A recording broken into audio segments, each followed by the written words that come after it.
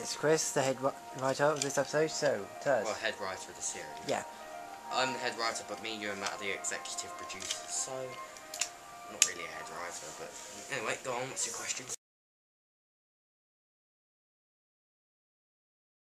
Oh, that's a tough one because this is your unusual episode. This is your episode where there's not really anybody else in it other than the doctor. There's a voice, but there's no actual other physical person. So it's like the doctor's talking to himself the whole time. Okay. Um, basically, the doctor's fixing the TARDIS because the time rotor's gone bust.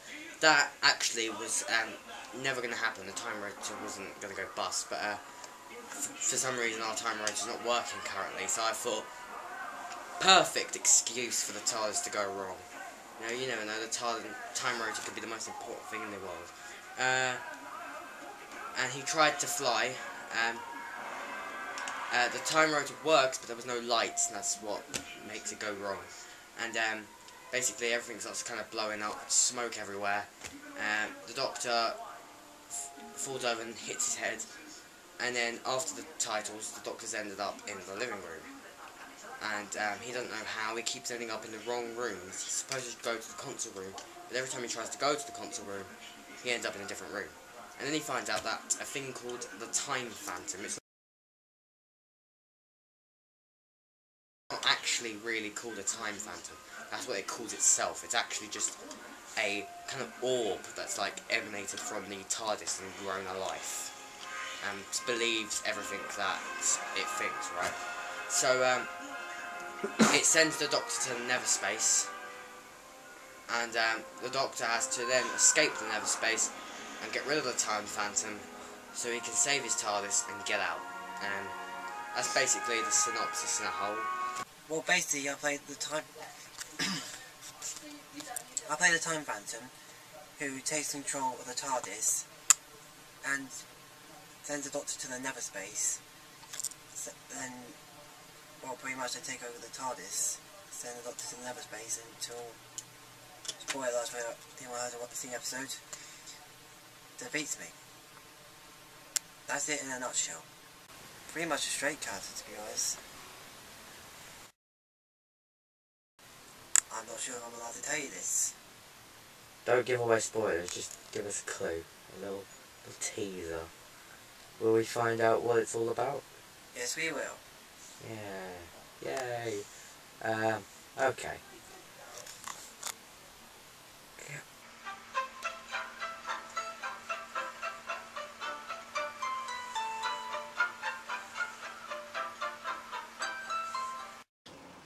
Still got time. I've still got time. Time to have a look around. It's made it look like someone's garden.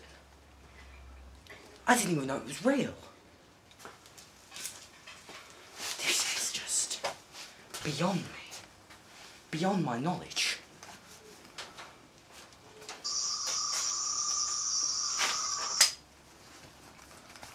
This is next level stuff. Just... Oh, oh bloody hell.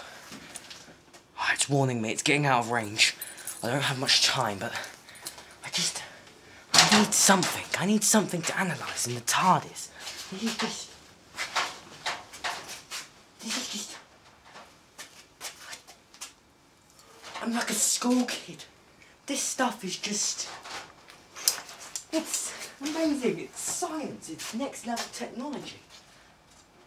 I need something, anything. Anything that looks like can. I'll take this key and the TARDIS is getting further away. I've only got a limited amount of time. Okay, okay, okay. I need something else, something else. I need more to analyse. I'll take some of the grass. Yes, of course. Grass, grass, grass. Perfect. Okay, now I'm getting back into the TARDIS.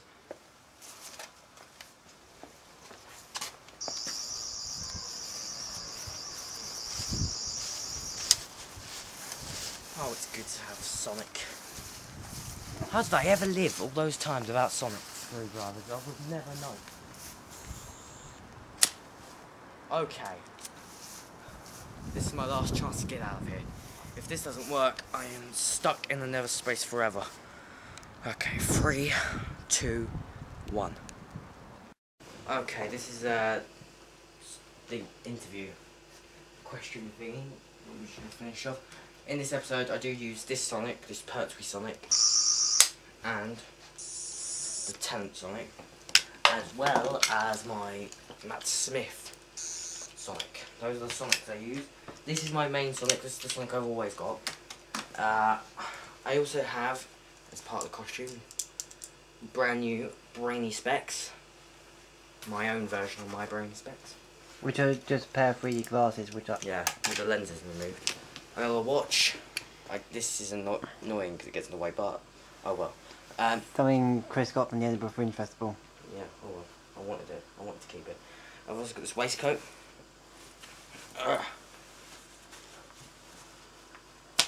The straps. Um, that's not a strap. Braces. It's braces, yes. Um, or if you're American, suspenders. Um, TARDIS key. Black Converse. And that's about it. That's about the new stuff, really. So, Um, personality-wise. Personality wise, you're going to see several different sides to the Doctor, which is going to be interesting for you. You're going to see a funny side, serious side, a fascinated side, and my personal favourite, the fury of a Time Lord slash the darkness of the Doctor side. That is going to be the one that's going to make viewers think, oh, he's going to die, he's going to die, we can see it, he's going to die. Right, that's going to be the one that you're all going to enjoy, hopefully. That's the one that I enjoy doing, because it's um, fun. So, that's it. That's my question. Kenny will do his interviews when he wants, on his camera, because he needs to charge his camera. So, hope you enjoyed the episode. See ya. And this is Chris out for this confidential.